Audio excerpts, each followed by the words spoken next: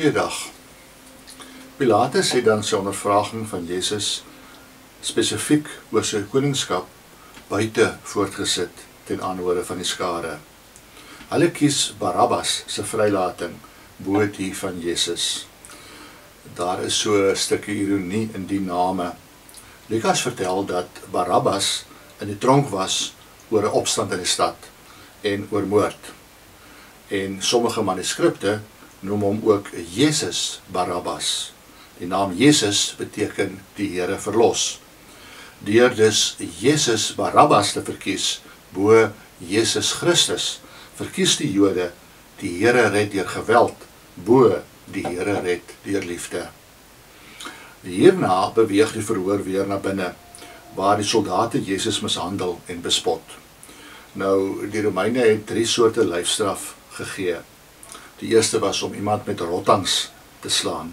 Dis wat Pilatus in Lukas 23 vers 16 voorgestel het wat die Jode toe nie tevrede gestel het nie. Die tweede was om iemand met swepe te slaan. Dis die woorde wat Markus en Matteus vir hierdie mishandeling gebruik.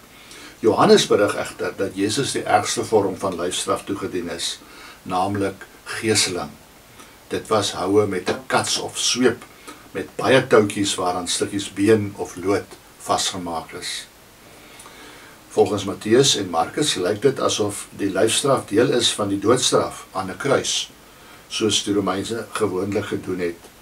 Maar Johannes laat dit lyk asof Pilatus die geeseling in plaas van die kruisiging aangebied het om Jesus vry te laat. Nadat die soldate Jesus gegeesel het, maak hulle spotterwys 'n karikatuur van sy koningskap. Soos die goddelike keiser van Rome met 'n laurierkrans op sy kop op hulle munte is, so kry Jesus 'n kroon, maar gevleg van takke met lang dorings. 'n Soldatemantel boots die koninklike rooi pers kleed na. En in plaas van die eerbiedige Eif Caesar klink klink hulle spotgroet. Gegroet koning van die Jode. In plaas van die soen van die keiser se ring, klap hulle hom herhaalde maal deur die gesig.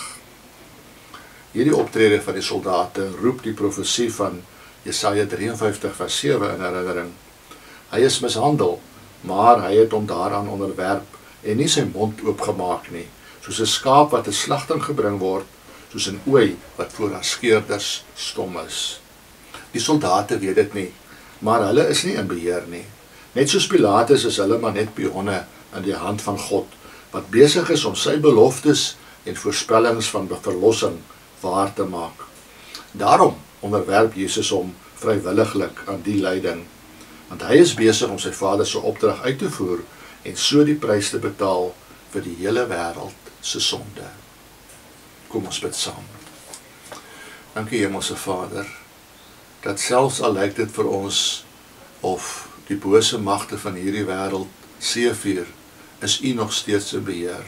Soos wat U die soldate wat U seun mishandel en bespot het gebruik het om die straf vir ons sonde op hom te laat neerkom en daardeur U voorspellings, U beloftes van die Ou Testament waargemaak het. Help vir ons om daarom op U te bly vertrou al gebeur watter slegte dinge ook al met ons. Om te weet U is altyd in beheer in Jesus se naam. Amen.